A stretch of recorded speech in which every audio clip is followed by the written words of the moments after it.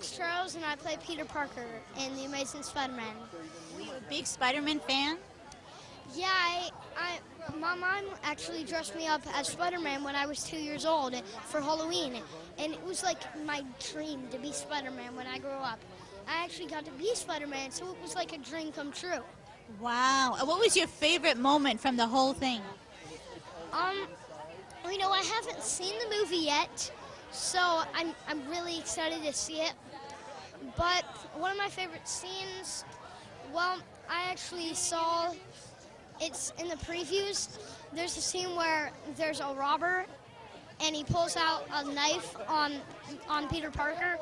And Peter Parker gets down on his knees and he's like, "You found my weakness. It's small knives." I love that. That is so great. And what's next for you?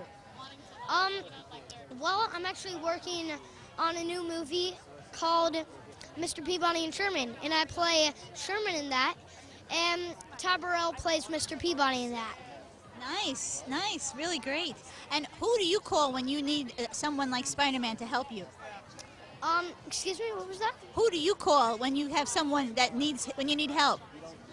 Um, you know, I normally like yell for tons of people, like my mom and my dad, like to help me. And if Spider-Man was like really close to me, I would be like, "Spider-Man, come back! Please help!" Thank you so much. Thank you.